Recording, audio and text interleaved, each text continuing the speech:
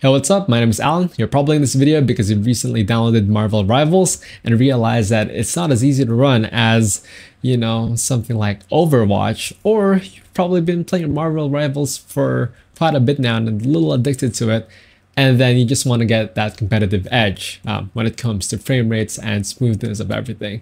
Well, this is the perfect video for you, so I'm gonna hop on right into my desktop and show you exactly what to do. But before that, we're currently on this screen right now, which is a stream um, that I did last night. So just so you have an average idea of what my FPS is. So this is on mixed settings, medium to high settings. We're reaching around 80, 70 sometimes to 110. Um, it really depends on what's happening in the scene. But when Doctor Strange opens that portal, it drops all the way down to 60. My PC specs, full specs would be in the description down below.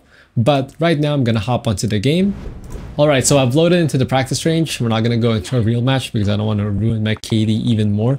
But this is my current FPS. You can see it above my webcam. And by the way, my FPS are not affected with any of the recording done because I'm using a second PC. So uh, yeah, no problems with that. So this is just my frame rate on all high settings. The first thing that I'm gonna do is head over to the display settings here and then go down. And as you can see, I'm on AMD FSR, native, and then I have everything pretty much on high. Now, if I change this into, let's say, performance mode, AMD FSR, I'm gonna go back. That just gave me a lot of FPS.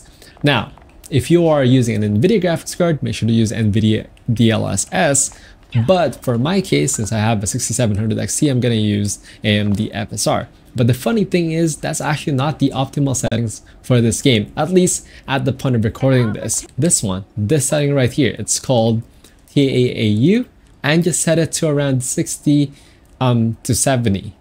So I'm just going to do my render scaling to 60, go back, see my FPS, but what feels different is the mouse latency it feels a lot more responsive than if I actually choose FSR. So for this game, it would be TAAU for the meantime until they fix the you know mouse latency bug. Now, what else? Of course, I'm gonna go ahead and lower down all of my settings, quite literally. So just put that to low, put everything to low, and that's probably the best performance settings that you can get. But for my case, I have a 12 gigabyte VRAM graphics card, and if I really want to get some more details, I can probably put up my model detail up to medium and then my texture detail to high. And that should not really affect much of my FPS. Here, I'm gonna restart Marvel Rivals now. We're now back to the practice range with the restarted Marvel Rivals. Again, these are the settings. Now, if I move around on the range, you can see my FPS is pretty stable. But hey, it's all the range. But don't worry, I'll give you some real samples. Maybe if I stream again later, then I'll just put some clips of that in this video.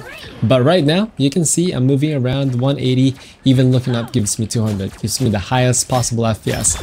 Here's the secret sauce. If you actually exit out of the game right now, Make sure, by the way, that your settings are already good for you because we're not going to be changing any more of the settings anymore. So I was messing around on Reddit and I saw this post by My Hat Has Bullets and he made an improvement to the config files. Don't worry, there's no script that we're not going to be downloading here. All we have to do is head over to this Pastebin. Uh, this Pastebin, the first link at least, will be the one that gives you the most amount of FPS. Now, if you want more, better graphics, but with some optimization, you can go ahead for the second one.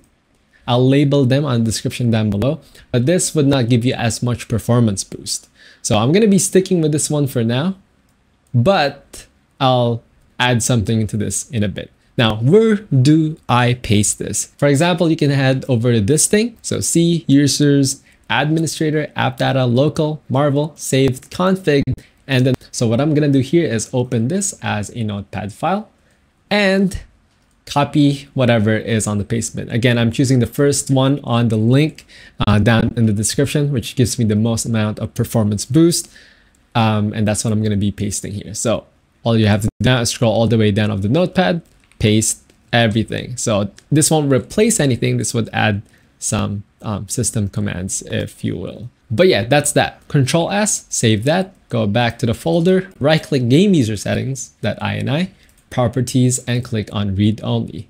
But we're not done yet. But the next thing you can do is go and make a new file, text document, name it engine.env INI. Now what this does is we can mess around a little bit with the engine, not just on the game user settings. On the same Reddit post, we have this thing from PKPREL, uh, PKPREL, and make sure that you have lesser input lag, make sure that it disables any mouse moving or acceleration. It allows you to have a snappier mouse movement overall. So let me go back to that window, go to engine.ini, paste it there, control S, exit, properties, and once again, head over to read only. Now press OK on everything, but now we can't change any of the settings that we have on Marvel. So just, just take note of that. Marvel Rivals settings are now off limits. If you press apply on anything, you would have to restart the game to get back the optimization that we've applied. You can see the FPS is pretty much the same, but the mouse movement now feels even more snappier and it just feels like one-to-one -one movement unlike when when it's just TAAU and everything.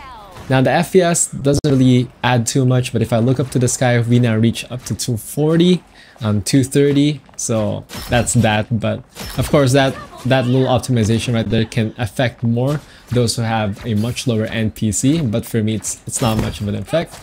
Um, but yeah, I think uh, I will leave this here. I would put some of my gameplay samples and FPS after you know, the whole tutorial stuff. So you can compare to what we've watched in the start, the FPS that I get there, and what I will get on, you know, this all new settings that I have.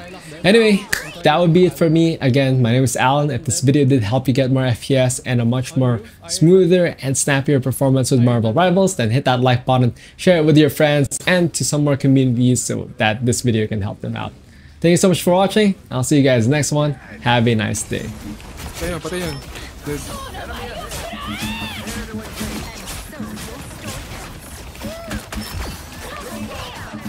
Nice.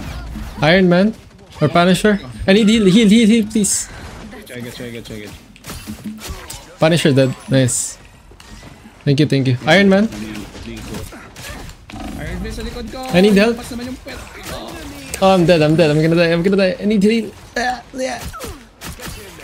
Wanda. Yeesh. Nice.